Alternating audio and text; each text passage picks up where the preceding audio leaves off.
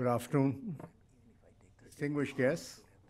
It gives me great pleasure to welcome you to today's discussion on this ongoing fourth Columbia India Summit with the theme India Rises.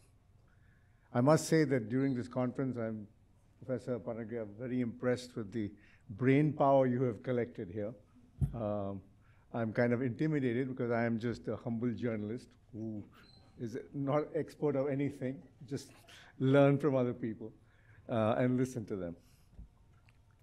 So my panelists uh, for the session today are two extremely distinguished academic luminaries, and economists of repute. You all know Professor Arvind Panagariya, who you, um, and Professor of Economics, and the Jagdish Bhagwati Professor of Indian Pol Political Economy here at Columbia University.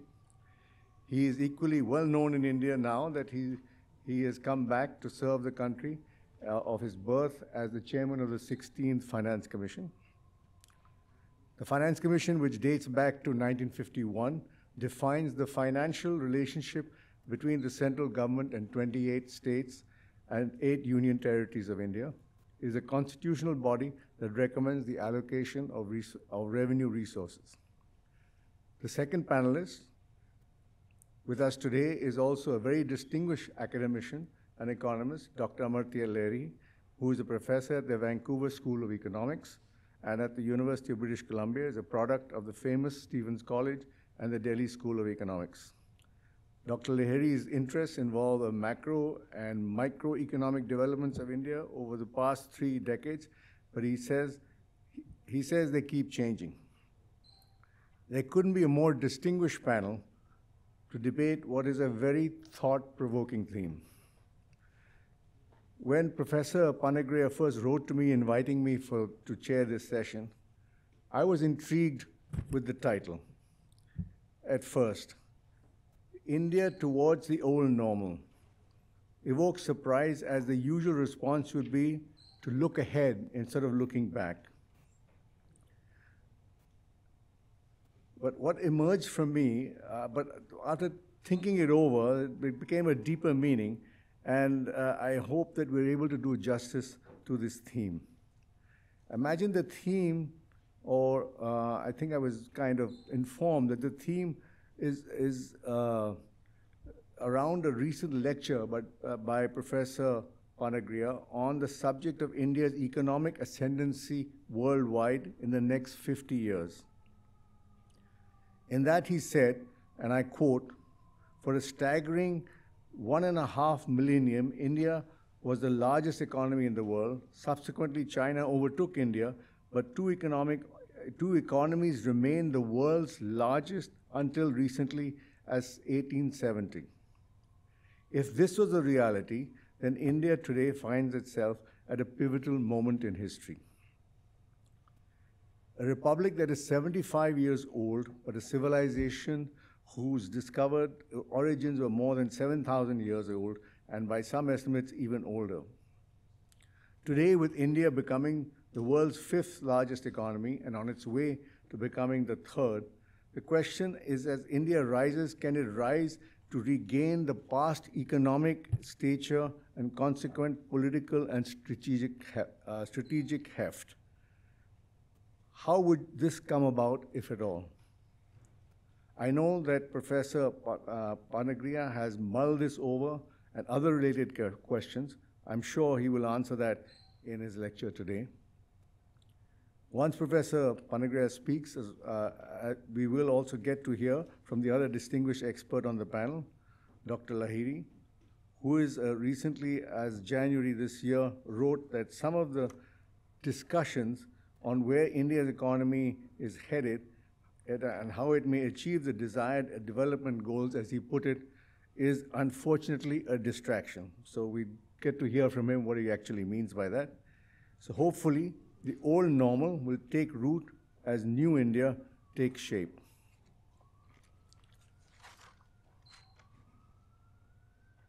So without any further ado, let me invite Dr. Panagariya to give his opening remarks.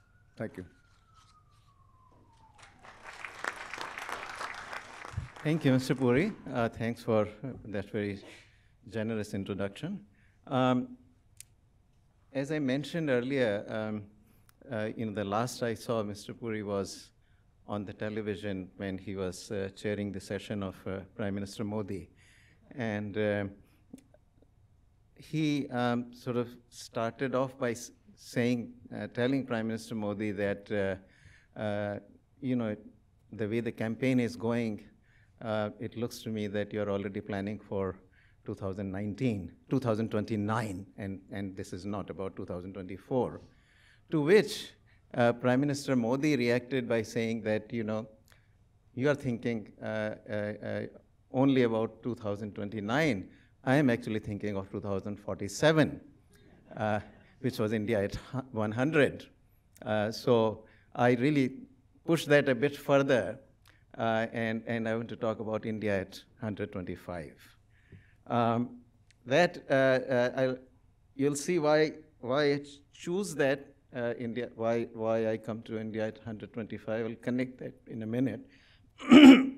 but to start with, I, you know, these are some numbers um, uh, showing the shares of uh, some of the major countries uh, in the global GDP, uh, uh, starting from the first millennium, at the beginning of the, of the first millennium, uh, uh CE. So it's one CE where India had more than 30% share. So India is shown, that India's share is shown by the blue line, uh, the, the, blue part of the, of the bar. So look at the first bar at, on, on, your, on the left. Uh, India is, is more than 30% of the global GDP. Uh, and this story remains. Uh, it falls to a little below 30% uh, a thousand years later, uh, a little bit further down. But you know, till 1500, clearly India is one of these two largest economies. It's actually it is the it is the largest economy for the 15 uh, for a staggering 1500 years. Uh, even as we get to 1700, India remains as large as, as China, probably a tiny bit larger.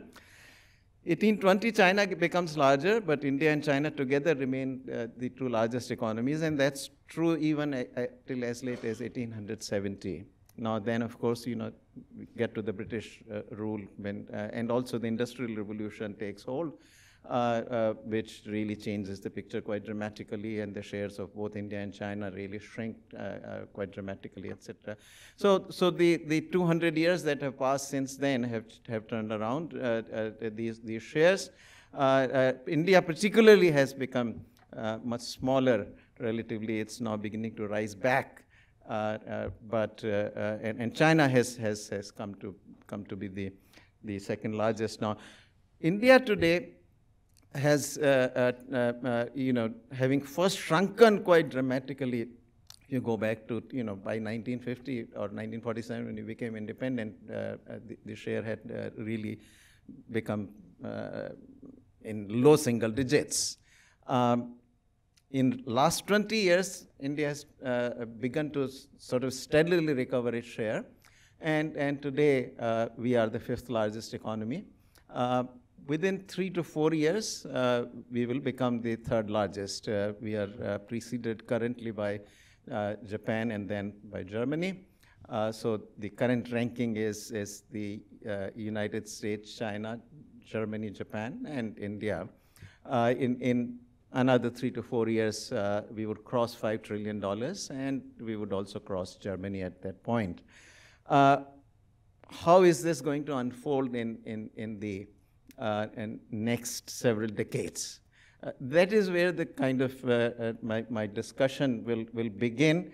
Uh, and then I want to come back to talking a bit about uh, why I think my story, as I'm going to, um, as I'm about to tell you, has a good chance of unfolding in that manner. but then I also want to talk a bit about the challenges that India still has to face before we can get there. So that is my plan. Um, now, at present, uh, the United States growth rate, if you look at the you know, last, you can go to three, four decades almost, uh, steadily the United States economy has been growing at about 2% a year. China, on the other hand, had grown for uh, three decades at least uh, at 10% uh, or thereabouts. Uh, in the fourth decade, so you know, you get 80s, 90s, 2000s, uh, and then the 2010s, it begins to slow down. Uh, it's, it's down to about 6.7 or 6.6 percent. Uh, so the, the, the 10% kind of growth that China was experiencing has fallen. Uh, and uh, uh, nevertheless, that is faster than the United States. Uh, and if it maintains certain, you know, anything that's about 2%, it will eventually catch up with, with the United States. It'll cross. Um, assessments are uh, uh, my own as well as some others that you know this should happen by 2040 or so. Uh, China should cross would cross cross the United States. Uh, that is so you know exactly when that happens is is not so much uh, relevant to the story I want to tell. Uh, sometime it will happen, and sometime meaning you know two decades, three decades from now it will happen. that of course means that India's race ultimately becomes with the United States. China would already be quite farther ahead. Uh, uh, and and, and uh, to, to get back to the what I call the old normal, right? So this is, this is in the title uh, of, of, of, the talk. Uh, this old normal that is referring to the fact that uh, the normal used to be that India and China were the two largest economies in the world, and are we going to restore that same old normal? If that is to happen, of course, India will have to cross the United States at some point.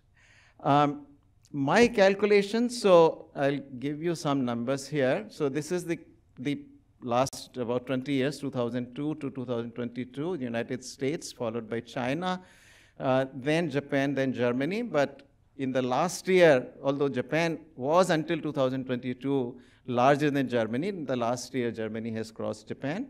Uh, uh, uh, and, and then India is below the, both of those. So that's where we are. Um, and I've already told you that in three to four years, uh, India will cross both Japan and Germany. Now, what uh, uh, do we expect in, in, in, in the years to come, in the decades to come? This is a table that basically the one from which I draw uh, some of the uh, lessons uh, for getting to what growth uh, uh, trajectory both of China and India might look like. These are the four, large, four economies which have grown the fastest since the Second World War. Uh, these are all developing countries, Taiwan, South Korea, Singapore, and China. Um, these are economies that have actually managed to grow at 8 to 10% for three decades uh, a bit of a superhuman kind of growth.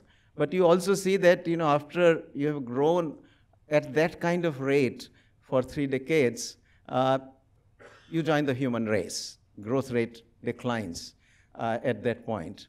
Uh, how much it declines in the fifth decade, in the fourth decade, depends on how well you did in the first three decades. So, for example, uh, uh, Taiwan really grew very rapidly in, in the first three decades.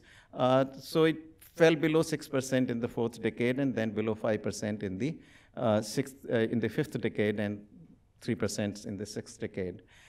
South Korea, likewise, it, it, it, grew quite rapidly and, and it, it shows very similar kind of pattern. Singapore in the first three decades grew a tiny bit slower and so in the fourth decade, it could still grow at 7%, but it, in the end, you come to the sixth decade and it has fallen to 3%. I suspect that's what where we, we will see China uh, go. Uh, India, on the other hand, has not had this kind of trajectory. India has grown uh, uh, about, you know, 7%, uh, you would say, um, a little below 7 actually if you take the full, two, uh, full last two decades. Um, with, these are not normal decades. You had at least two crises happen during this period, the global financial crisis and the COVID crisis. Uh, in addition, of course, India had also its own crisis about which talked in the morning, which, which was the, uh, uh, the non-performing assets crisis, the banking crisis.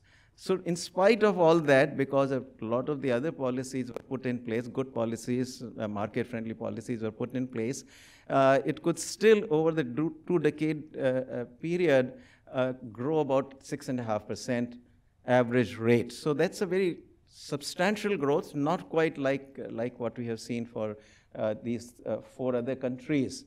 Um, in dollar terms, of course, the growth rate has been faster. Uh, uh, uh, almost um, another uh, one and a half percent faster. So if you if I do the growth rate of India in in in nominal dollars, it's about over the same period, 2002 to 2022, uh, 2003 to 2022, 20 years, uh, it's 10.2 percent nominal dollars. If you deflate that by the US GDP deflator, which is about 2.3 percent over the same period, then the growth rate in real dollars comes out to 7.9 percent. So it is still fairly substantial growth once you look at this growth rate in real dollars. Uh, that is the point at which, uh, uh, uh, is the point I, I, I, take as my starting point that, that given the fact that India has not grown as rapidly as these other countries, what that translates into is the, the per capita income in India is still low, $2,500. Um, the scope for growing rapidly uh, uh, for many more decades to come uh, is very significant. And so this is where I sort of do this very mechanical exercise first, and obviously that, you know, moves away from that, ignores whatever external crises that might happen over this period and all. So, uh, uh, and it's very stylized kind of uh, exercise to do. But I say, well, for the next two decades, we'll continue to grow at, in real terms at about 8% in real dollars. Uh, and then after two decades, we'll drop to about 5%. So this is just back of the envelope kind of exercise I did, uh, uh, and, and quite to my surprise, actually, and this is, uh, uh, it, it, turned out that exactly at 2072, which is under 25 years, uh, it, it, turned out that India would cross the United States. So that is where the restoration of the old normal. Uh, that, I think, is, is the stylized story that, that, that uh, uh this, this paper uh, uh, tries to tell. and, and the rest of what I want to do is to briefly talk about why I think India's prospects to do to, to achieve this kind of growth, uh, assuming that the world remains normal, of course, you know, if uh, uh, world uh, uh, becomes very abnormal, uh, a, a, conflict arises in which India Uh, uh, somehow gets embroiled, uh, you know, it, it, it, that could happen in our neighborhood. certainly, if China were to move on to, the, to, to, to Taiwan, uh, certainly, you know, that will have uh, uh, serious implications, both economic and political, for India. But that's what I abstract from. Uh, uh if, if that is done, then this is the rough trajectory I expect, and, and that is the restoration of the old normal. Now, why such growth is possible? First of all, India really has political stability. Uh, and, and it is a democratic quality which imparts this kind of uh, stability to both politics as well as the economic reforms that have been put in place. So the, uh, over the 20, or the 30 years period now, you know, it, uh, as you can see that whereas China could change its economic policies very rapidly, right? Once Deng Xiaoping came along, decided that he wanted to change the course, he could change course relatively rapidly.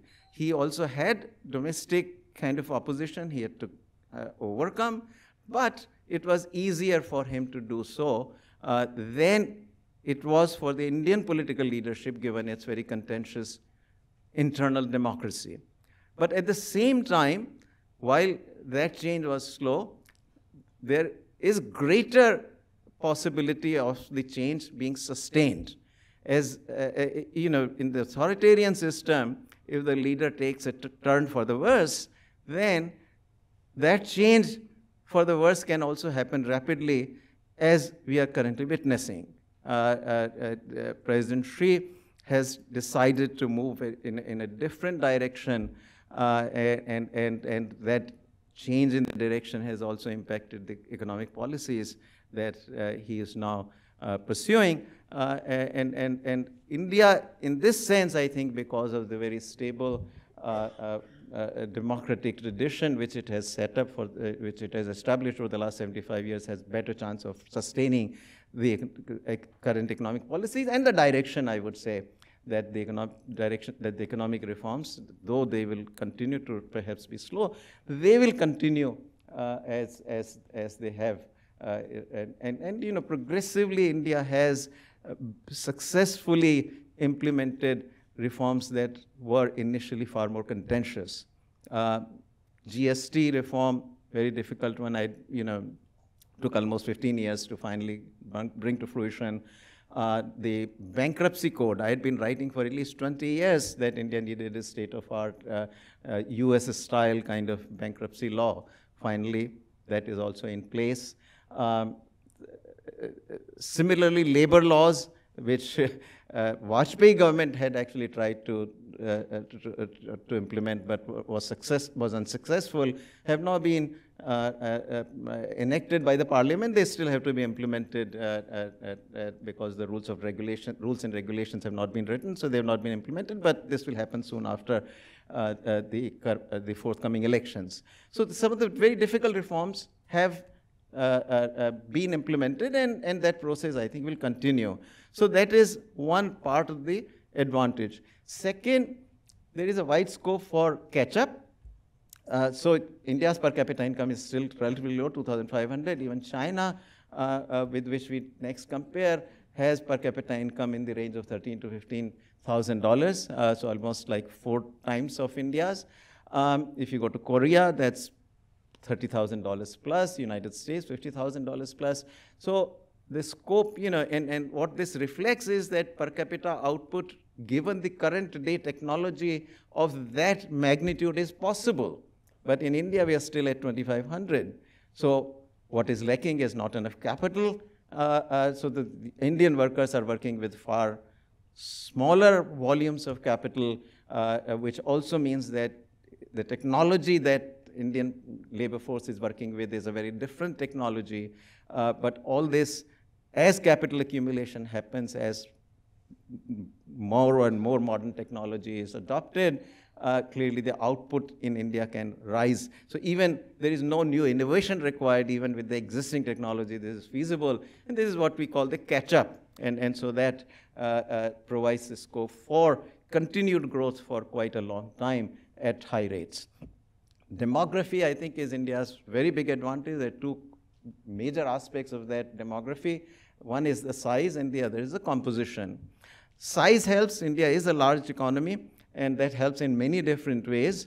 Uh, uh, in one, one way it helps is that it generates economies of scale in things like whatever is the public goods, you know, uh, uh that in, in the provision of the public goods, uh, larger the population, population, the lower the per unit cost of supply of that good. A good example is the digital infrastructure, that once you have built the digital infrastructure to add more, to allow more and more uh, uh, users, uh, the average cost actually doesn't rise much. There's hardly any marginal cost to it, so average cost actually declines as more and more use. But even on the user side, you know, the more users there are, the more useful, more productive that platform becomes for the existing users. So there is this scale economy that arises, the, the, same one also in the provision of infrastructure and whatnot. So that's one part of the size. The other is, of course, that you know when you got large country, both in terms of geographical area as well as in terms of the population or workforce, uh, then you can create the supply chains within the same country. And that has a huge advantage because, you know, when supply chains have to be spread out in, uh, let's say, a dozen different countries, uh, every time uh, uh some component crosses the border, there is friction at the border. And if you're crossing, you know, 20 times, uh, uh, if a product, the, the, the, supply chain is really spread out into a dozen or 20 countries, th these components are going to cross many, many different borders, and each border crossing requires friction. But if the supply chains are in the same country, uh, that of course means far less friction uh, and, and, and uh, in turn uh, cost efficiency. So that also is an advantage that the large size confers on, on the country. And then there is the composition of the workforce, which is also working for India because currently the, this, this workforce is relatively younger. So the dependency ratio is, is, is, is, uh, is, is significantly lower than in the United States, Europe, not even in China. Uh, uh, uh, what that translates into is a couple of things. One, to the extent that in young age we all save and in old age we you know, draw upon our accumulated wealth uh, from the young age. Uh, what that means is that the savings, if, if the proportion of population uh of the younger, if, if, the share of the younger population is large in the total population, then uh, in effect your savings rate will be higher. And that we are beginning to see. This has been going ongoing process actually, and, and the savings rate already is well above 30% in India. and, and that is what is reflecting, uh, reflected in the high uh, investment rate of 34% that, that uh, we talked about in the morning today.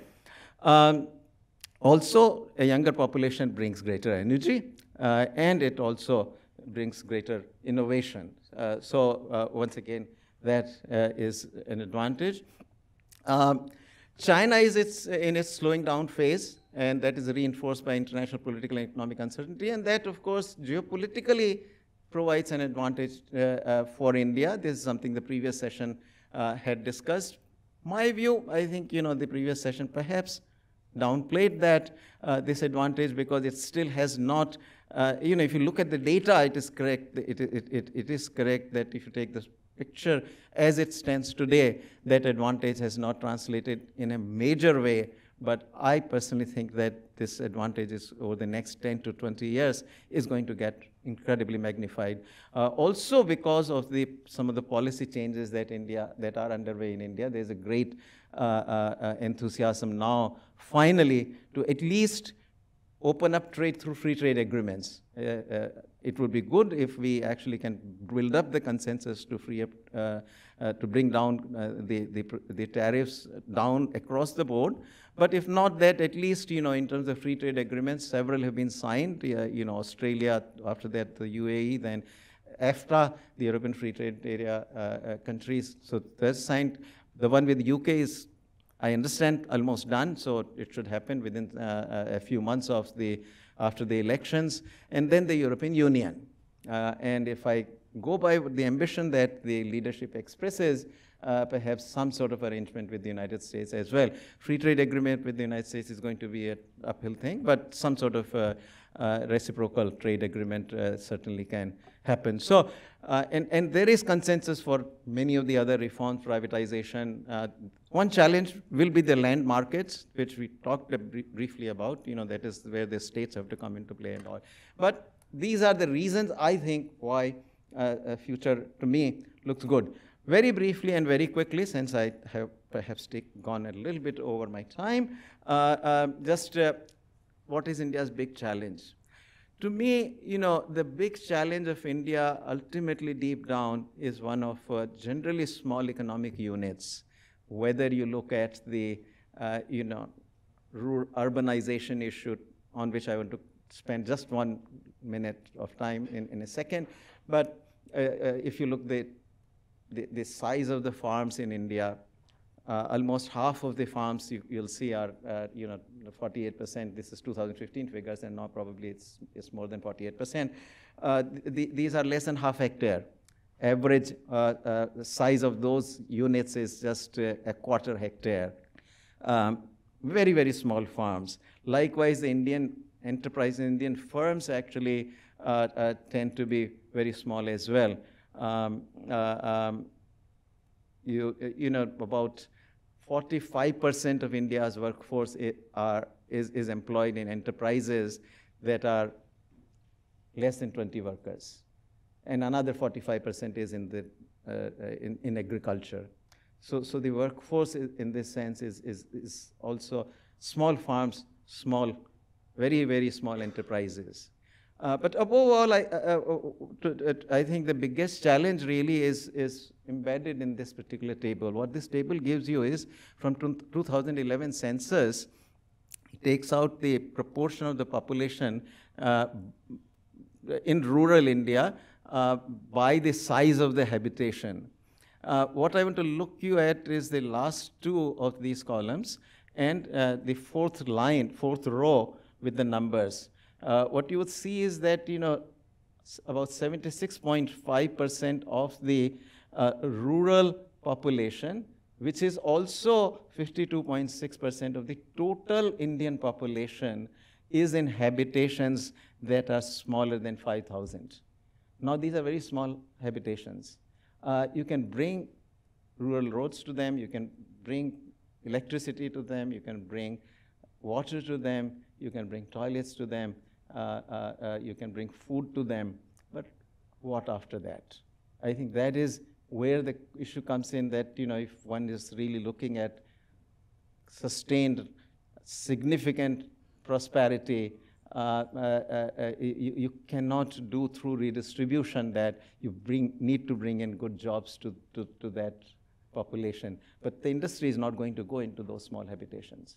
And this is where the urbanization is incredibly important. I think that is not received its deserved share uh, of attention, in my view, in, in the last 20 years or 30 years of reforms.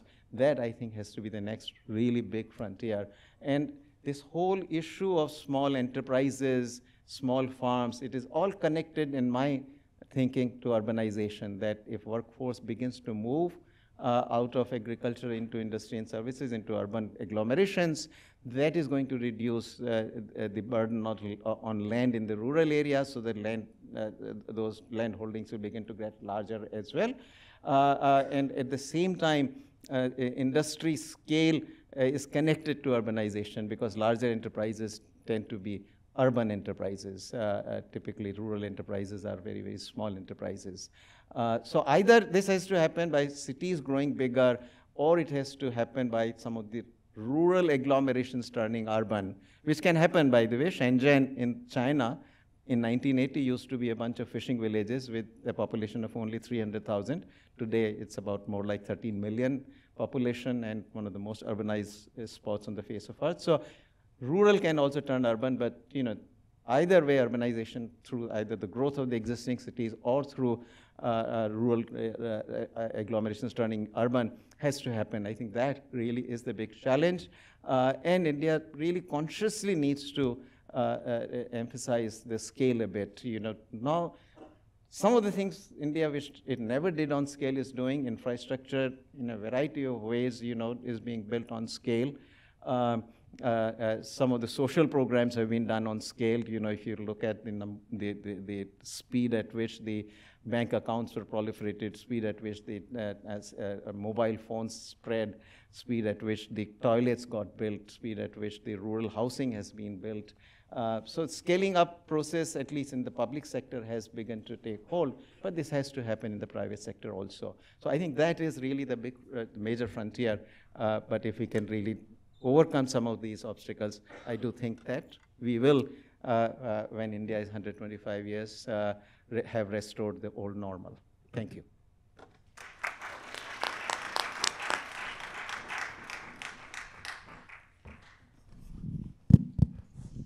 I invite you, Dr. Harry. Thank you for your thought-provoking remarks, uh, Professor.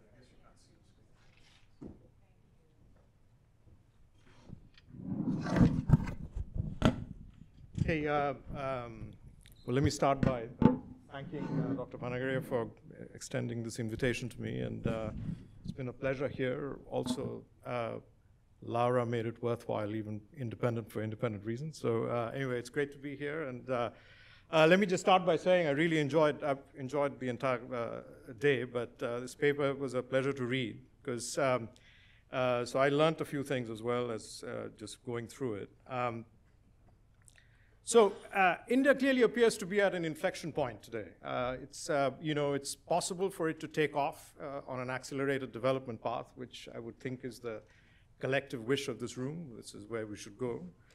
Uh, however, it's important for the country to get its policy orientation right. And so, uh, and so in that sense, the paper is very timely because it flags some key issues going forward. So um, let me just say that the paper has two parts.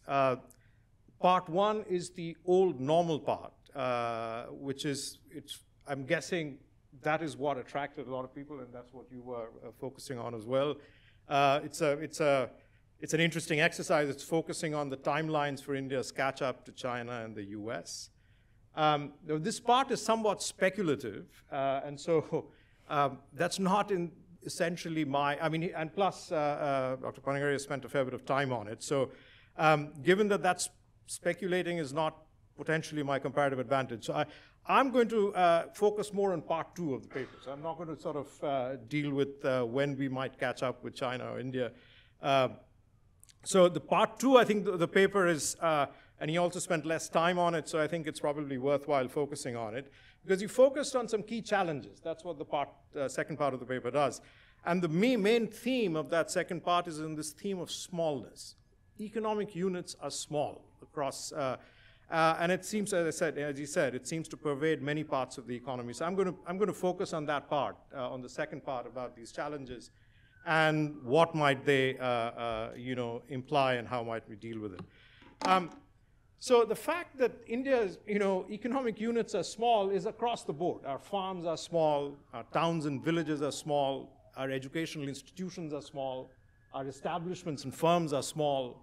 Um, so the paper really provides a very detailed and careful accounting of this generic smallness in the economy. I mean, the economy that all these units, and it takes a, a fair bit of work to kind of put it all together in some sort of uh, context about kind of quantifying the smallness. And, uh, uh, and so the paper does a really good job of doing that. And so that's, I thought, was, a, was, was, uh, was fun to read. Um, so then when you take that smallness and then you say, okay, what does it mean for us? So the primary argument is, uh, and, and this is not just true of this paper, but I think there's a gen gener general uh, perspective on, in development that small economic units tend to constrain growth, tend to, uh, you know, they tend to constrain development. Um, so small displaced habitations can really make delivery of public services a real challenge across the, you know, it's just, uh, uh, you're trying to deliver across a large, large big geographic uh, country to very small entities, just it becomes a huge challenge to do that. Um, small farms, they tend to reduce efficiency and the productivity of farming. Uh, if you have small enterprises, they tend to reduce the productivity, and there's a lot of evidence in manufacturing, and I'll, I'll dive into that in just a bit. Small educational institutions. There's also, you know, this, this uh, uh, uh, notion that it tends to reduce the efficiency of schooling if you have incredibly small units and you're trying to. So in other words, at the back of it, there are some fixed costs of uh, delivering a bunch of things.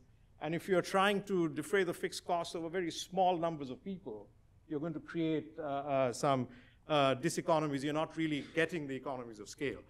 Um, so I'll get into all of that. I'll just start by flagging a little wrinkle here, which is that there is this prevailing view that I just articulated that size induces productivity growth and development, that the causation right, you know, in some sense it, it sort of uh, generates these scale economies. There is an alternative view which, all, which says the opposite, that it's development that induces agglomeration and bigger size distributions.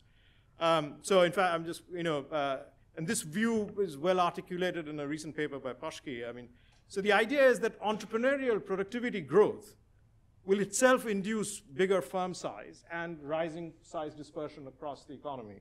Um, and there's any actually shows a fair bit of evidence uh, uh, about that. So this, uh, you know, which way does the causation lie? I mean, I guess uh, in, in, when we were growing up, we would call it the chicken and the egg. In economics, we call it endogeneity problems. But I mean, you know, it's, it's, a, it's a more general issue about trying to figure out which direction is the causality going. Um, but the debate is a bit like asking, does productivity growth reduce the agricultural share of output? When an economy's dependence on agriculture shrinks, is it due to productivity growth? Or does a higher agricultural share reduce productivity growth? I mean, they seem almost like I'm talking about the same thing. But, uh, you know, the profession has, I mean, development economists have a very strong view about this, which is, says that they go with the first one. It's the productivity growth that induces structural transformation, which releases people from agriculture and they move into other sectors. So that causation going the other way. There is a long history of that. So Uh, there is this wrinkle about which direction does the causality go, but I'll leave that aside. I mean, this is a, this is a tough issue to deal with, so I'm not going to uh, touch it. I just wanted to flag it. Um, so, you know, all these pieces about, uh, you know, size and productivity of farms. So what is the evidence? Again, this whole thing about small fragmented farms, does it, how much of a, how much of a cost does that entail? So there's actually a lot of work on this, uh, on both on a cross-country basis and within country. Unfortunately, the findings are somewhat contradictory. So the cross-country evidence tells us overwhelmingly that size of farms and productivity are very strongly po positively correlated. So, you know, uh, large, you know, countries with bigger farm sizes have, you know, are much more productive. Countries with smaller farm, average farm size are much less productive. But then there is another whole set of studies that actually looks at it within countries and starts comparing you know, productivity across farm sizes within a country. And there they often find that size and productivity are negatively correlated. So, uh, so this creates a, some, somewhat of an issue that uh, how do I reconcile these two things? That cross-country studies is saying, telling me one thing about size and productivity relationships, the within country saying something else. I think the issue is that the within country studies are often comparing small farms with slightly less small farms, or you know, so whereas the cross country studies are really comparing countries where the average size is very small with the countries where the average size is very large, and that's where you can identify these big differences. Um, so the gains are probably, you know, of getting larger farm sizes the gains probably go from going from very small to very large, not from one to two hectares. I mean, that's not going to be where the gains are. The gains are probably if you really go into, into bigger, bigger holdings, and then you get sort of uh, uh, uh, much bigger productivity gains. Similarly, on this issue of size and productivity of schools, there's again, uh, you know, uh, education, uh, you know, there's been a fair bit of work on, you know, there's some work on this that I could dig up, which is on so the work on schooling, on human capital, et cetera, has focused uh, on three aspects. What is the optimal class size? What's the optimal school size? And then what's the optimal school district? Now, the school district issue is more a Western idea about how do I aggregate different schools into a certain district. But what is the optimal size of a, of a class? I mean, uh, for those of you who are trying to put your kids into, you know, uh, uh, into college. I mean, I know Praveen is somewhere here, but uh, he's desperately trying to figure out where should KI go. And so all of that is dictated on does, you know, Wharton has bigger class sizes, does Columbia have bigger class sizes? So that's all about, uh, you know, about the class size. And, and does that, what kind of, what kind of size would you like your kid to be in? Where does the learning becomes more, uh, where does it become more uh, better in some sense? Um, so actually there is a fair bit of evidence that small size is better, you know, class sizes are better for learning, in particular for low-income kids. If they're in a smaller class, you learn better. Uh, that's the Angrist-Lavy study. Uh, school size, uh, you know, they, they, find evidence of scale economies, that the larger size school somehow is able to deliver education at lower cost per child. And that's the, that's the scale economy, which is what um, rings kind of true. Now, recent work on this has kind of dug a little further and started uncovering the fact that there is actually a U-shaped relationship. That you know the uh, you know there is this initially there's a you know some big gains to having small sizes, and then uh, those gains disappear. But then uh, at some point the gains uh, start disappearing if you get too high. So that's this U-shaped relationship, uh, and and and so. Uh, the caveat in all of this is that you know it seems though that super small scale schools are not optimal. I mean, that's just, you're, you're, you know, it's just too expensive to have too small uh, a school size for, you know, you, you have this fixed cost of running schools, so you just need them to be a, a minimum scale in order to be able to uh, uh, uh minimize the cost of educating your children. So if you have super small schools, which the paper actually talks about, uh, the fact that there are school sizes in India are often too small, and so we probably do need some consolidation there. A caveat is most of the stuff I could find was actually very US-centric, and, and, uh, and, so I haven't seen a whole lot of work on this uh, in developing countries about what the optimal size is, but I'm, I'm sure Karthik Muralidharan and his, uh, and, his, and his cohorts are like, you know, probably have, have some project going on this, but we'll probably learn more about it. I'm going to spend the balance of my time talking about this last bit, which is establishment size and productivity, which is like a big thing, and we talk about this all the time, uh, that are Indian firms too small? Or Indian establishments and factories, are they too small? So the key question, of course, when you ask something like this is what determines firm size? How does an establishment or a firm decide at what scale it should operate? Intuitively, if you're more productive, you should be larger, you should hire more people. And if you're less productive, your profits are low, you should be not employing that many people. I mean, so there should be a relationship between productivity and size. And that's sort of the uh, prevailing idea behind when we write down, uh, imagine what should determine the optimal size distribution of firms. We think that there should be a relationship with the productivity of firms, as we mentioned uh, you know, so efficient economies should in actually induce this kind of pattern. So there has been a fair bit of work on this. Uh, uh, so I'll, I'll, I'll, sort of talk about two uh, to start with. So there's one, you know, a paper which really looks at U.S., Western Europe, and Eastern Europe. This is a paper Bartelsman uh, et al., uh, Haltiwanger and company. So they looked at the covariance of size and productivity of firms, um, and they looked at how that covariance looked for different sets of countries. And they found that the strength of this covariance was the highest in the U.S., it's a little lower in Western Europe, and it's much lower in Eastern Europe. And so they kind of made the statement that there is, they see this as a sign that resources are not best, you know, most efficiently allocated in less developed parts of the world than in more developed parts of the world, and which is the reason why this relationship between size and productivity tends to kind of get a bit more scrambled as you get uh, into, uh, you know, poorer and poorer economies or less developed economies, so to speak. They call this resource misallocation, that resources are not going towards the most efficient units, they are somehow you know, going towards the less efficient guys. And that's why this you know, relationship looks a bit scrambled. There's more work actually on India and emerging economies. That's Hsieh Klenow are these two authors who've done a lot of work on this, and they've compared China, India, Mexico, and the US. And what they find is that uh, developing countries typically tend to have establishments that grow more slowly with age, they are smaller on average. They tend to use suboptimal input mixes. And they have lower productivity. That's the, you know, so when you, uh, and in fact, they quantify. They quantify, uh, they say, they, they call these misallocations, the fact that these resources aren't best allocated. And they said this misallocation can account for about 40% of the productivity gap of China and India with, with, with, with the US. The fact that resources are not allocated as first best principles would say. So that suggests that something's scrambling it. So the question, of course, that this doesn't answer is why are firms too small? What is the source of the misallocation? Okay. Why, are, why, why does the firm size distribution not reflect productivity in the way that efficient economies should have? So what is the major constraint? And so that's the question that I want to sort of spend my last uh, you know, four or five minutes on. Um, so the typical focus when we are thinking about reasons why, uh, uh, you know, why firms might be making suboptimal decisions or might be making decisions that are not exactly uh, uh, reflecting what their true efficiency is, oftentimes the focus goes on tax policies. Maybe it's tax policies that cause uh, or enforcement that, that reduces the incentive for a firm to grow beyond certain size. You want to stay below 20 or you want to stay below 50 because otherwise you get into uh, a different regulatory environment. It could be that, that, that, that, that constrains firm growth because you're trying to avoid. Uh, um, sometimes you worry about land acquisition policies. That might prevent, uh, prevent growth as well.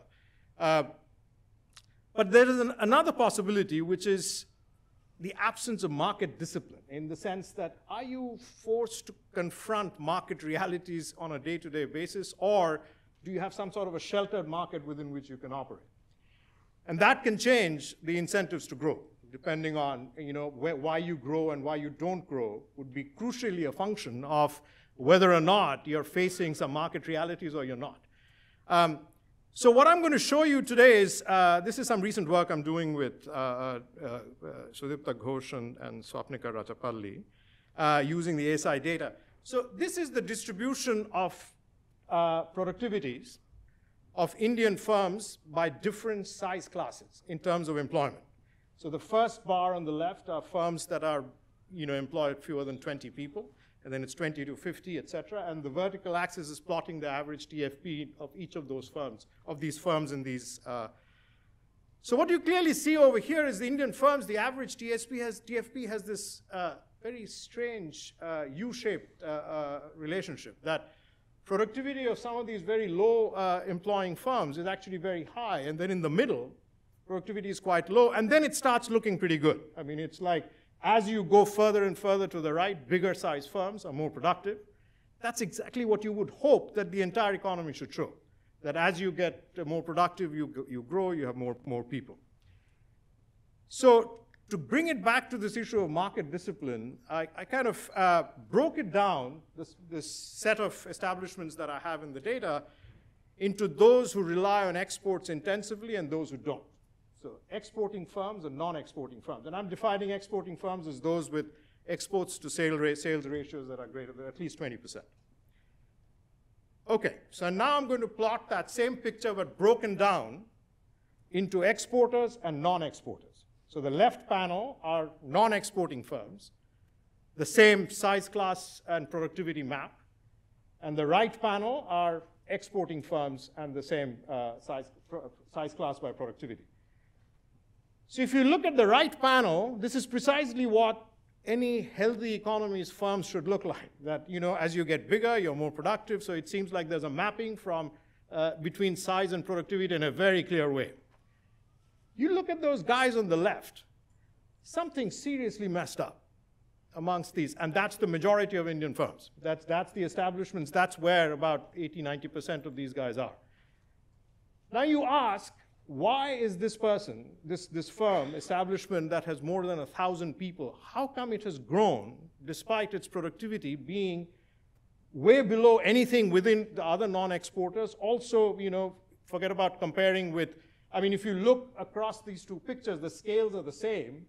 So almost uh, size class by size class, exporters are more productive than non-exporters. So whether, except for the below 20 group, which is almost the same, but every other group, its exporters are more productive. But then when you compare across these size classes, the non-exporters are bizarre. I mean, these guys are growing for reasons that are unrelated to productivity. They are growing for, uh, uh, you know, and so this same thing shows up. This is a slightly more formal way of trying to control for, these are bin scatter plots. That's what these are called. So these are controlling for different establishments belong to different industries. So this is controlling for that. And once again, the blue dots are the uh, productivity uh, size relationship for non-exporters, and the red dots are the productivity size relationship for the exporters. And you can see the correlation is strongly positive for exporters, and the correlation is strongly negative for non-exporters.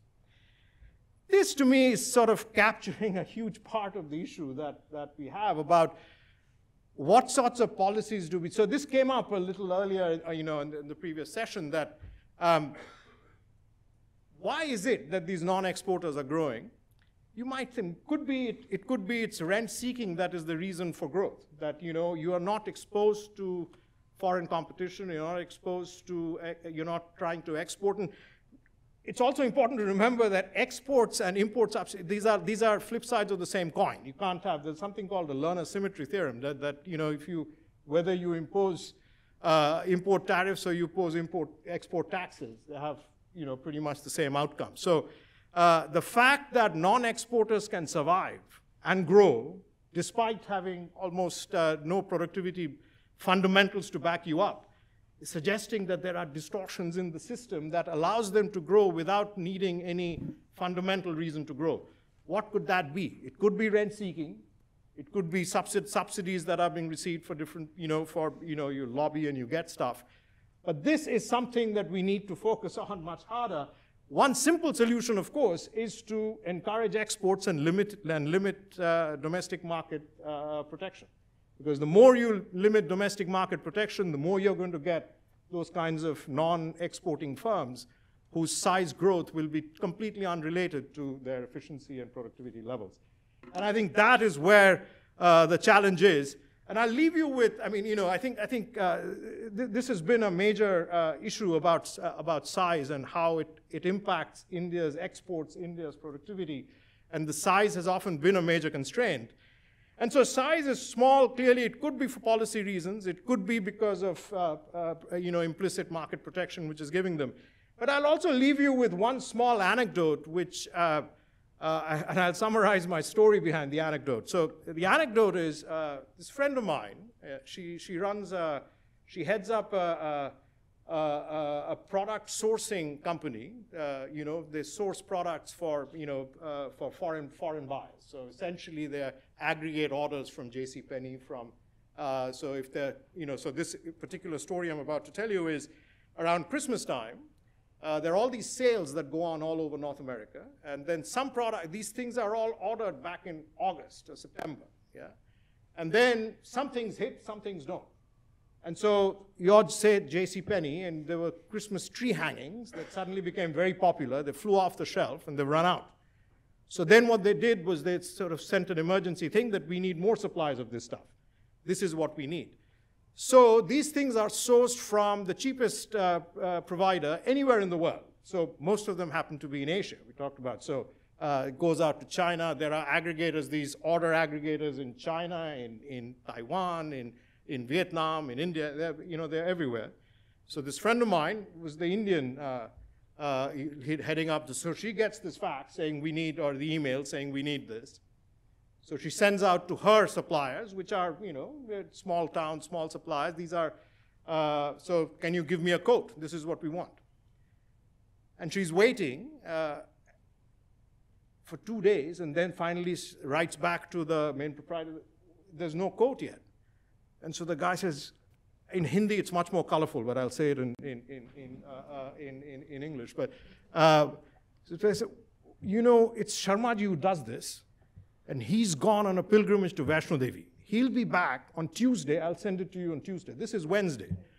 So, this to him, the proprietor, is perfectly okay.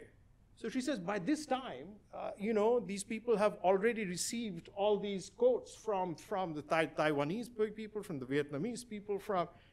So what chance do we have? We're just sitting around waiting, twiddling our thumbs for this gentleman to come back from Vaishno Devi. Now, uh, it almost seems like when the person said it, it's a completely valid reason. That's how they perceive it. That he's gone to Vaishno Devi, what can we do? I mean, you know, this is how it is. Uh, now, that is a rather, it's, it's saying two things. It's saying the scale of the firm is so small, there are no redundancies built in. There is nobody who can back up anyone. And that's a, that's, a, that's a function of scale. You're operating at such a small scale that you cannot cover. It's like a soccer team where the right back slips and nobody covers the guy. I mean, you know, the opposition just goes straight through. So that's, that's one problem with scale, having too small a scale. The other one, you know, I don't know how you deal with that. It also reflects a lack of ambition, some deeper level that there is a satisfied, people are just satisfied being, you know, it's okay. It's, it's, it's a fine life. Why do I have to kill myself to do it? I don't know how you break that. That, that seems a much harder hurdle. So I'll just leave you guys to, to think about that.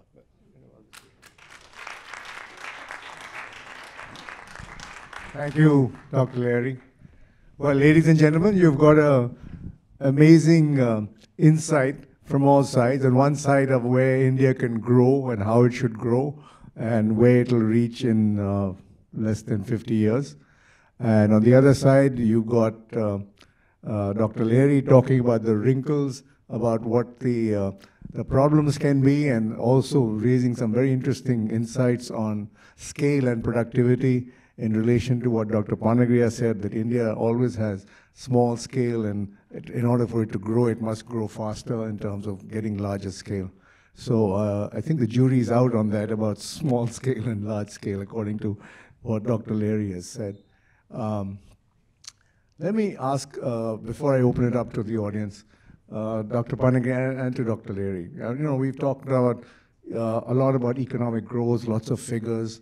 Uh, being a journalist, let me introduce politics into it, right? Because everything is politics, and politics is everything. So we look at um, India in terms of you know the, the growth tra trajectory, etc. But India is not China. It's it's so diverse. It's got uh, messy politics. You're seeing it today in the general election, right? Uh, it's an epidemic of populism, uh, freebies being given out. Uh, everybody's kind of racing to the bottom. How do you account for that in all your projections? In terms of, you know, the, and one part is also the cultural part. You know, Sharmaji has gone to Vaishno Devi, okay, doesn't matter, right? Uh, lack of ambition. So how do you inject that into your projections for India? Is the fact of the politics, uh, also the fact of reform. We talked about reform. Look at the way the, uh, the farm sector reform got stalled, which I thought the farm laws which were, project, were proposed were very good laws, which would, you know, increase scale, increase productivity, uh, give better income to farmers. But they got stalled. Um, labor market reforms. You've talked about uh, demographics and how India's demographics are great, but that's also uh, a burden because where the jobs going to come from to take care of all these young people who are coming out? And you know the unemployment figures for you know from people who are coming in from 18 to 24 is huge in India. Um, it's a time bomb sitting there. So can you address some of these? Uh, I've asked quite a few questions within the questions, but uh, you get the general trend. So, you know, by nature, I'm an optimist. And so I look at the glass, half glass full rather than half glass empty. Um, I used to be pessimistic along the lines that you have just mentioned uh, till the 1980s. Um, my pessimism basically was grounded in the fact that, you know, we got uh, a political class and a bureaucracy especially, uh, which is so entrenched uh, and, and has such vested interest in the license permit Raj and all the restrictions that we had, that we will never change. Things cannot get better in India. But then 1991 happened. Then one time I remember, you know, after 1991 reforms, uh, uh, on, on a trip, uh, on, on a bus from Delhi to Jaipur, because heavy rains had broken all the roads and all, uh, a four-hour trip became eight-hour trip. I said, all right, reforms we can do, but roads have to be built by the government, and our government is completely incapable. Then came along Atal Bihari Vajpayee, and that, you know, quadrilateral highway, and when I sort of got onto this, going from Jaipur to Bhilwara on the stretch up to Kishangarh, which was six lanes, and I got to it and I said, wow, this is America. So uh, uh, things that I did not think would happen did happen in India, and, and that is what drives my optimism. And a lot of the difficult reforms, I said this that you know uh, uh, uh, we can't move at the pace that an authoritarian government can move, but we move. And consensus have been evolved, and so many reforms that looked so difficult actually at one point have happened. Even labor laws have been enacted. In fact, if you look at this, the, the, the much of the struggle on reforms has been more at the political level, not so much at the people level. I have seen hardly any pushback except in the case of the farm laws, which had a very special case. Uh, uh, uh, but otherwise, when you say that, oh, there is no consensus on reforms, we used to hear this actually during uh, 10 years of UPA government, but people were never in the, in, in the way. I think the consensus was lacking within the government. And then, you know, you've had the change of the government, and under Modi government, the reforms have come back.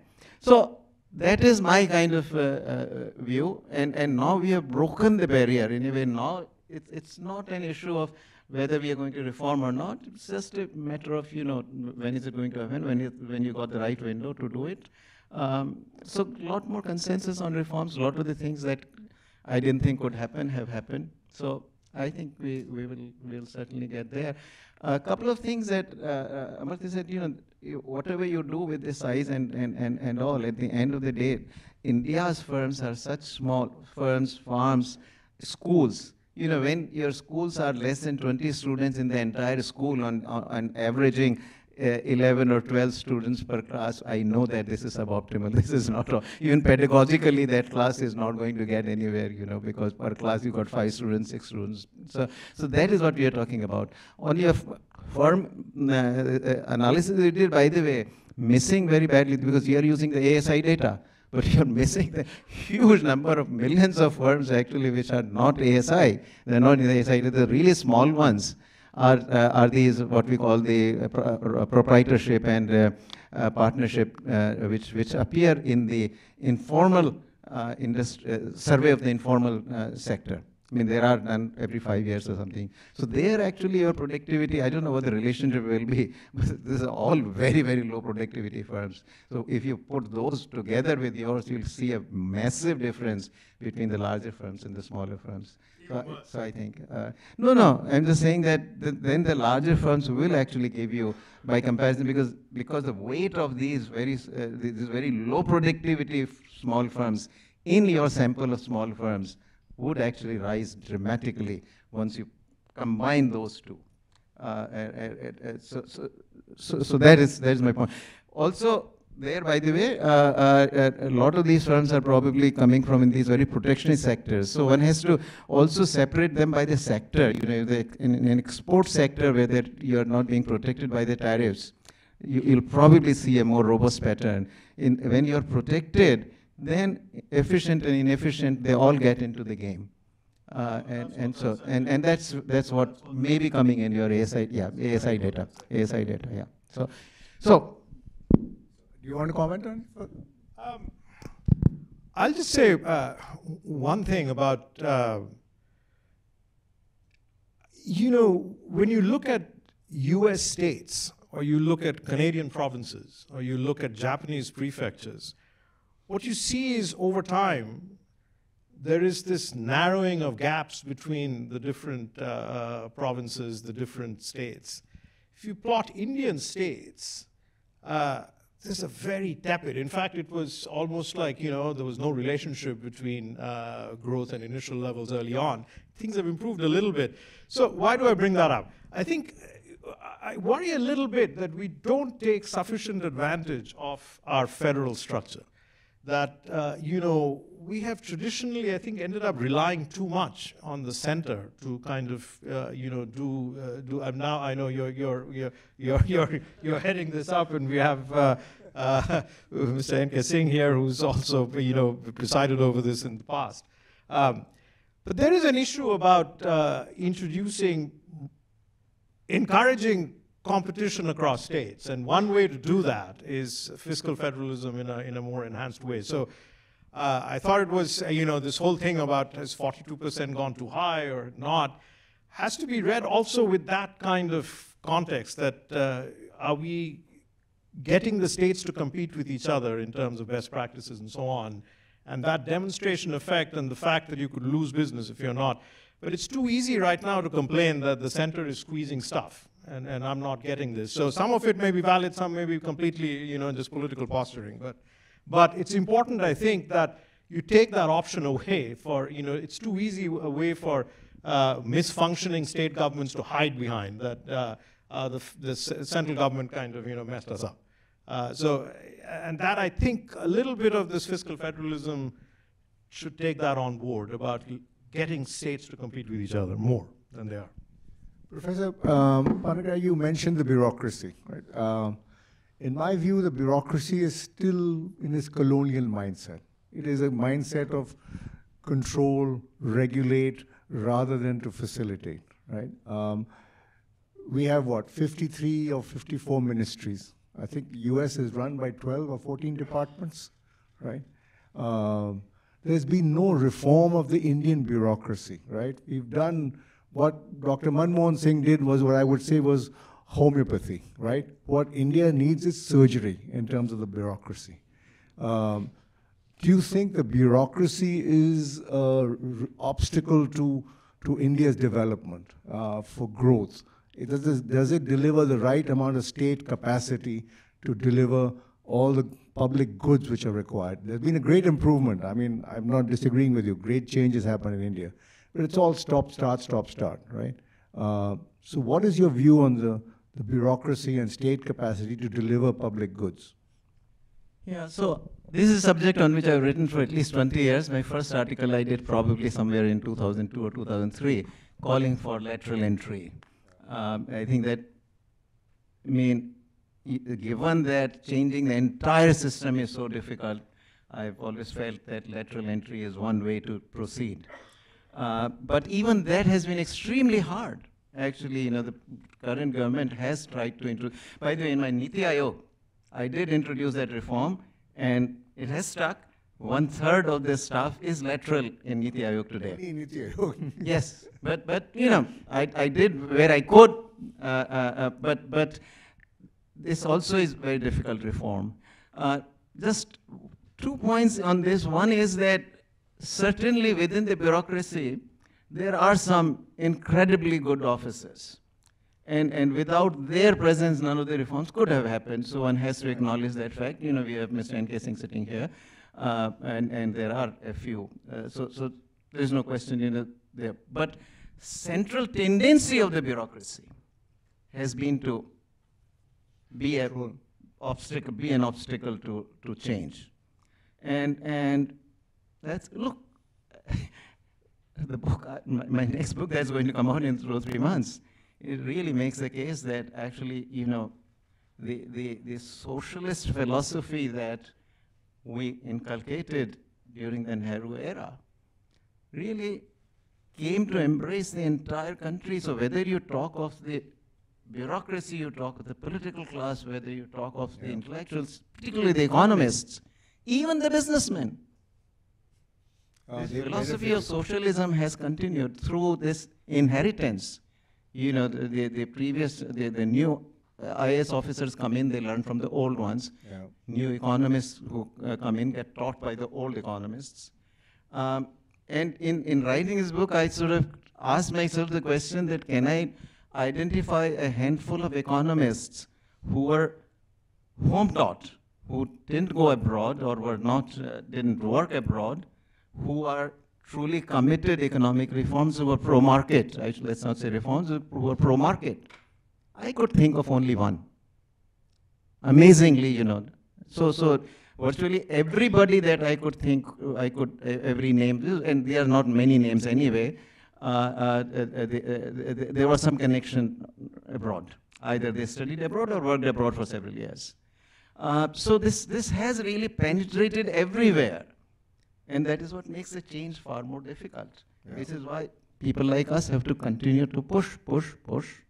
And luckily, I think there has been a payoff to doing this push, and we'll continue to do that.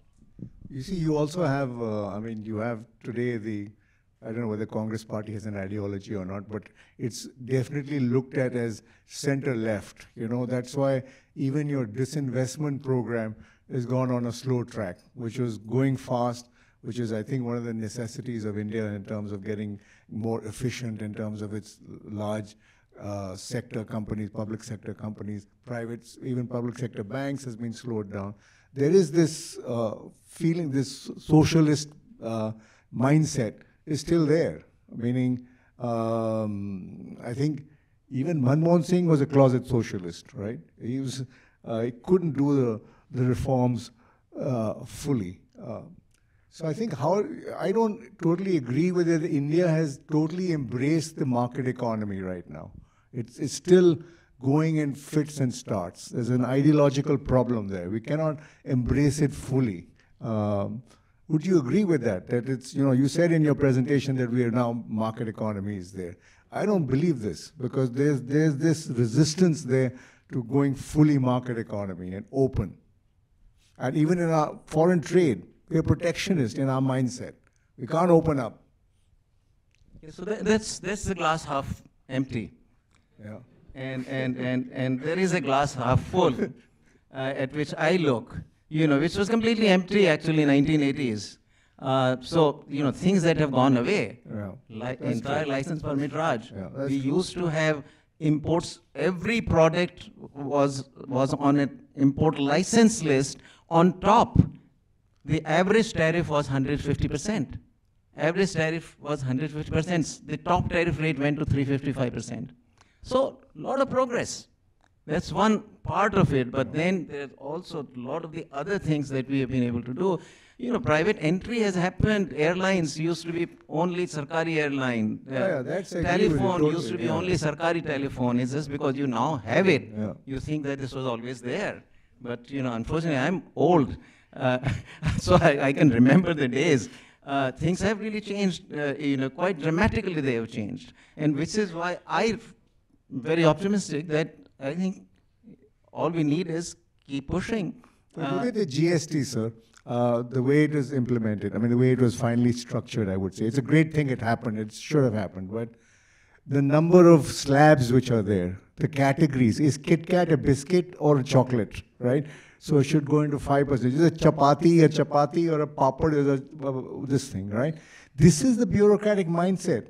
They can't be audacious. This is the problem in India's, you know, politics and, and the bureaucracy. See, see, you, you, you are getting impatient. It's so good.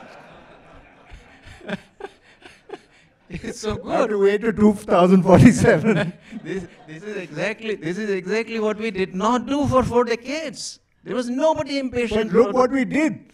No, no, no. There was We, what we ended up, we did GST a good thing, but then we made it into a mess.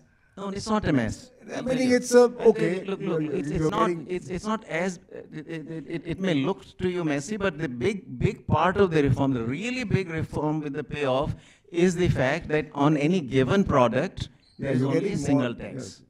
On any given product, so therefore for the given product, there is a single market India-wide. That's a huge reform. Agreed that multiple rates are not a great thing, uh, and particularly there's also some sort of inversion in some of the rates where the in- inputs are taxed more heavily than, uh, than, than the final product and also, but that is the nature of the process in India.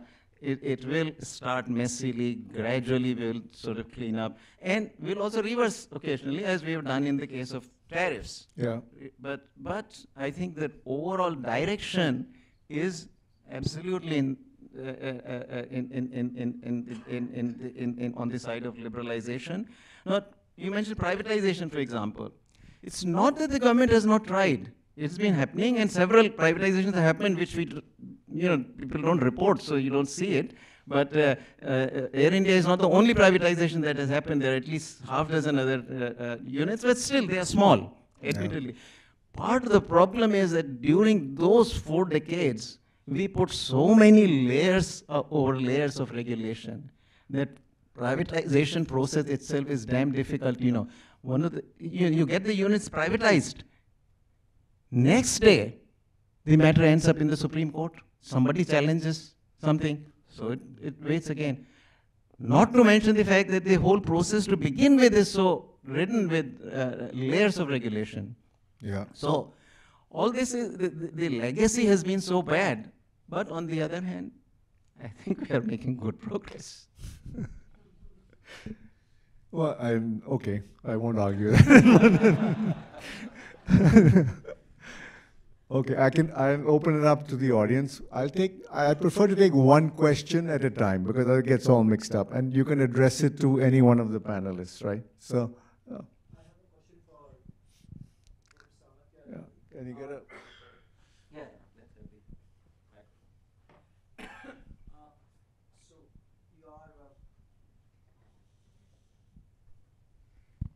Yeah, so it's a very interesting paper based on the ASI factories that you have analyzed and uh, external orientation or competition being one of the answers for productivity. But I don't think it answers the question of why, you know, firms are small or factories are small.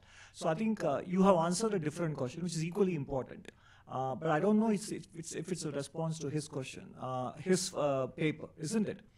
Yeah, no, I, just, uh, do you want to add, or that was the question? So my question is, uh, we haven't still figured out why everything is small, as he put it in his paper. Which, by the way, I entirely agree with. And I could, one of the answers could be what they were discussing just now. It is the, the the, the controls are so massive when you become bigger that many firms prefer to stay below the radar. Yeah, no, I, I, so there are two aspects to it. As I said, there's why are, yeah, why is the average size small? And then the question is, what is the dynamic for firm growth? Why, why do firms, some firms grow and some don't? And I guess what I was trying to suggest was that if you, you know, open up competitive pressures throughout the economy, you will start at least getting a mapping between the efficiency or productivity of firms and growth. And so you will have at least a more, uh, you know, well-founded growth dynamic as opposed to, uh, so you're absolutely right that it inherently by itself doesn't answer why they are small, but at least if you can fix that part that who is growing, you'll at least get the qualitative dynamics right. Yes. Uh, this is Sumit Ganguly, and I'm with an IT services company. Uh, an observation and then the question. The observation is the entire discussion, the bright spot out of India is almost $200 billion worth of IT services export. And we haven't talked about it. We've talked about diamond polishing and diamond export. Uh, so could that be an important substitution to the manufacturing that we're talking about? And I just came back from Las Vegas. Uh, I was at the Google Next conference. And this whole aspect of generative AI could be an existential crisis or a huge opportunity for the country. It could be a headwind for the middle income or the low income uh, McKinsey recently decided not to recruit a large portion of their new entrants, and it could be a huge democratization for countries. So, one, the observation that we didn't hear anything about IT services and technology, and your comments on what could be done to propel it further. So, nobody would say that IT exports and IT industry is not important. Of course, extremely important. Um, and, and the export performance has been absolutely superlative as well. Having said that, uh, let me ask you, I got, you know, about, let's say, maybe 300 million farmers uh, in, in, in agricultural sector. How many of those can you employ there? That's a rhetorical question. That's a rhetorical question. Uh, because even the US IT industry, is, as far as I've checked the number, uh, employment-wise, like 5 million or 6 million uh, you got a very large workforce to employ there. IT industry is not going to do it. Look, I wrote this first article on this whole issue. These are a lot of the people who are talking about these services, this, that, and the other are new and haven't read read anything that others wrote years ago. 2005, I wrote in the Wall Street Journal because at that time they were already talking about, oh, IT industry is the India's and this is where we, could, we should go and this is where the uh, uh, uh, uh India's development uh, answer to the India's development problem is. So I'd written at that time that, look, you know, you got to walk on two legs. Uh, IT industry is doing well and that's great, but you cannot really walk or run Uh, uh, uh, to, to, to, to a state of prosperity without success in manufacturing. Because at the end of the day, the transition requires this labor force uh, out of, uh, to come out of uh, agriculture. And they can't go into all these IT, they can't go into IT industry unless you wait for another two or three generations for, for them to actually acquire the kinds of skills that are required by IT. So you do need to walk on two legs. You need manufacturing without, at least, I mean, I have in my mind zero doubt about that. Just to follow up on that, where do you think the new jobs will come from? Because a lot of times, I mean, people say the export ship has sailed and what China grew on. And we've seen our percentages are so low in so many presentations. Where are the new jobs going to come from for the Indian demographic dividend? Um, what kind of manufacturing? You're saying it has to be manufacturing, has to be services, I believe, too. Uh, tourism, for example, India's dismal performance on tourism. 10 million tourists, including NRIs coming in. I mean, it's, it's pathetic. And India's, you know, cultural diversity, the whole historic monuments, mountains, lakes, beaches, everything. We have miserable failure on that. So where is the new jobs going to come from? Yeah. So I'm an economist. I believe in good policies. I usually don't pick the se sectors, but you know, which sector the entrepreneurs will decide. Uh, you decided that media was uh, uh, uh, uh had an opportunity. Had no regulation. no, no. But, so but, but this is why I'm saying the policies must right, encourage right, it. Right, precisely. This is why I'm saying that you know I, I believe in good policies. Entrepreneurs will figure out where to go. But first, you got to have the right policies in place. Having said that, certainly these jobs ultimately, uh, a, a, very important part of this uh, uh, uh, uh, job creation has to come from labor-intensive sectors, which is part is manufacturing. Construction is going to be, can be potentially very big. Uh, it, it already is actually, but but but you got to make the, uh, uh, uh, the, the, the, the, regulation friendly enough for the labor intensive sectors to, to arise. just so that, you know, since we're talking about this, um, this question was also raised about why the firms are small, etc. in India. Uh, historically, I think a lot of this is in the history.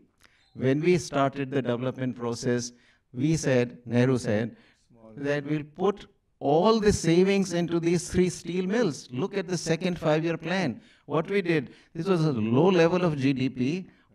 The savings rate was only 7%. We put most of it in three steel mills during the five, this five years worth of, you know. One glaring statistic I'll give you, which was reported by uh, P.T. Bauer in his book in 1961, that the investment in uh, the expenditure on the development expenditure on primary education during the five-year plan, second five-year plan, was half of what we invested in one steel mill.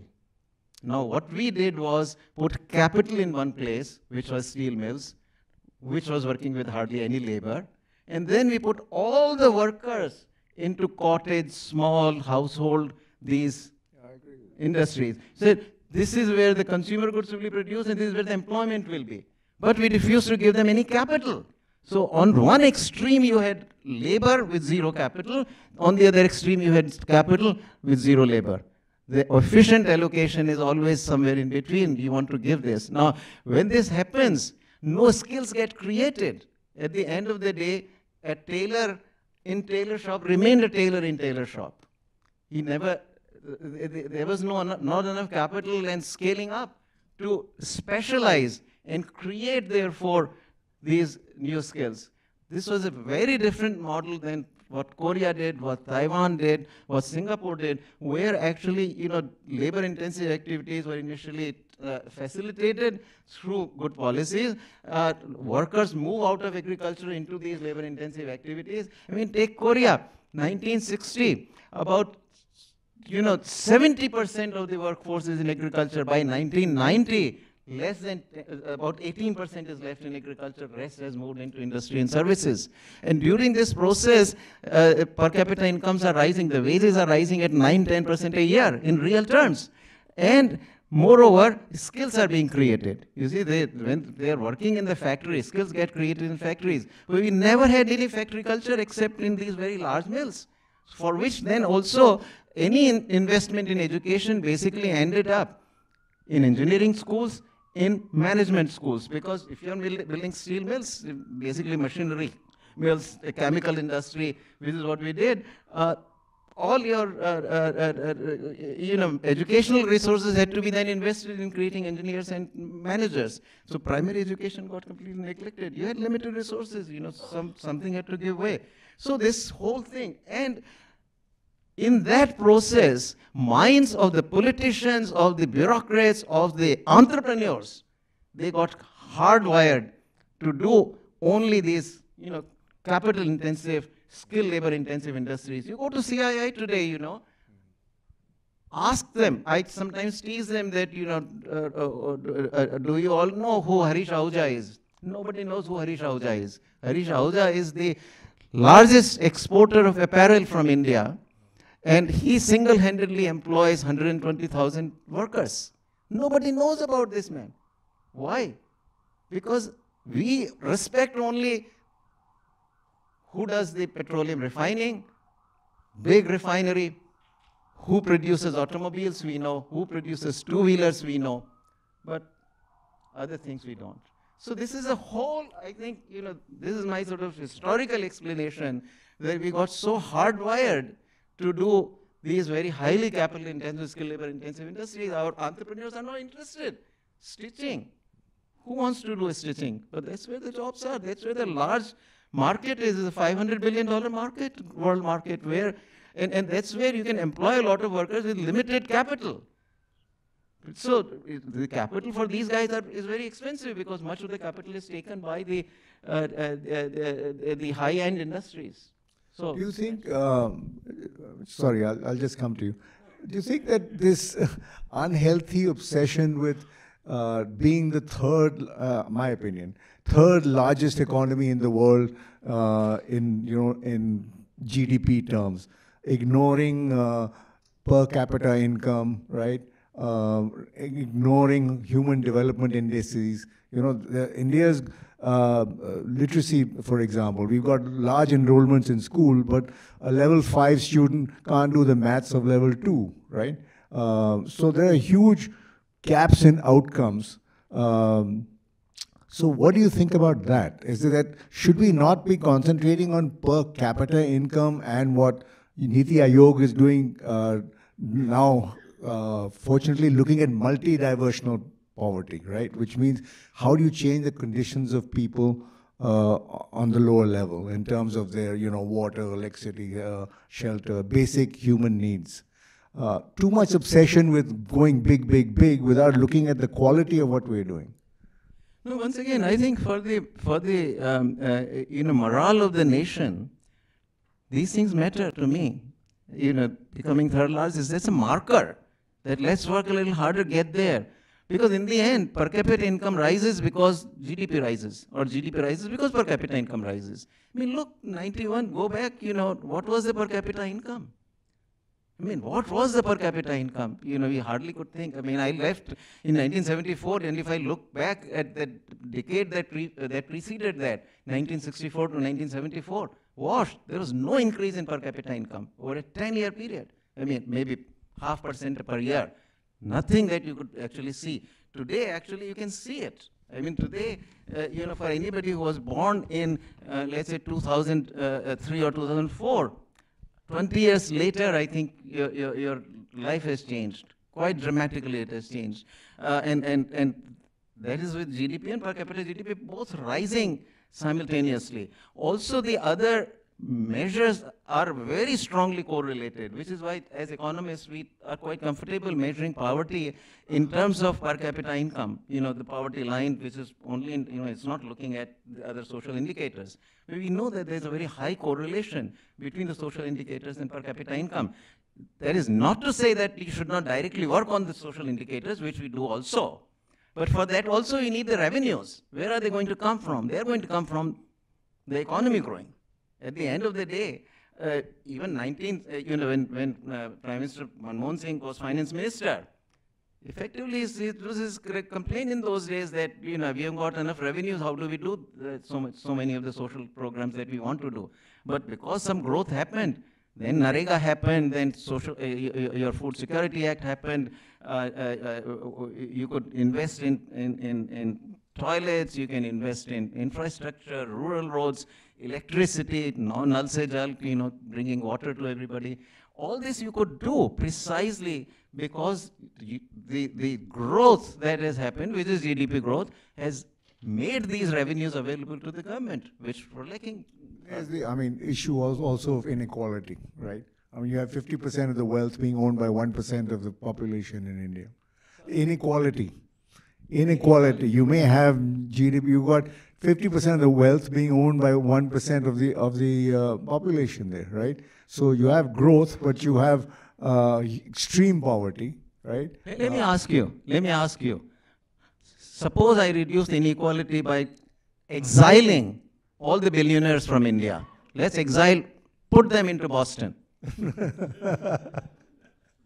Would you, would, would you be okay with that? No, no, I'm, I'm not saying that uh, by just dividing it you'll increase it, but growth also means that there should be some equality, equity in the growth, right? That but, are we getting me, a billionaire yeah. Raj also now, right? Well, Four or five uh, big industrialists controlling major industries in India.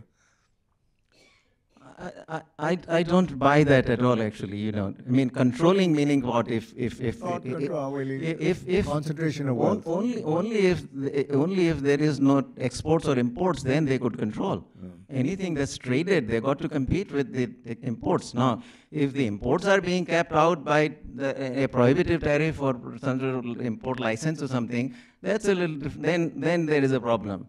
But as far as the industry itself is concerned, it's got to compete in the global marketplace. It's an open market. So that part is, is, is clearly to me, is, is particularly for, for non-service, you know, for manufacturing. Certainly this is not an issue. I mean, free trade is the best uh, uh, uh, uh, uh antitrust to me. Now, services, banking, etc., you can argue, yeah, because these are often not fully globally traded uh, uh, products, so, so one can argue about that. Billionaires as such, look, if there is wealth creation, there will be billionaire creation. If you know a better way to create wealth, I'm all with you.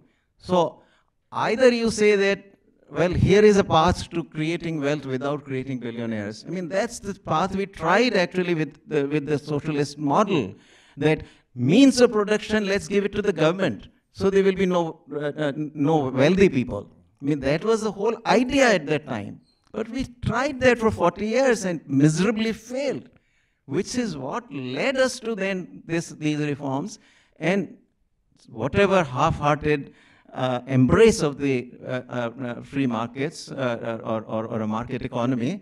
and sure enough, then wealth, wealth accumulation or wealth creation did actually accelerate. How many billionaires did, it, did we have? I never even heard of a dollar billionaire actually before 1990. Maybe there were one or two, but, but I, I certainly one didn't hear of that.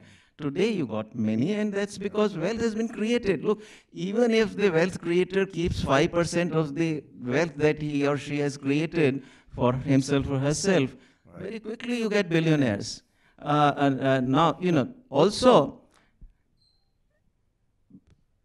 you know, a billionaire cannot spend more than a tiny fraction. I mean, even with a $120 million wedding, that's a very tiny fraction of the wealth that the uh, person actually ends up spending on conspicuous consumption.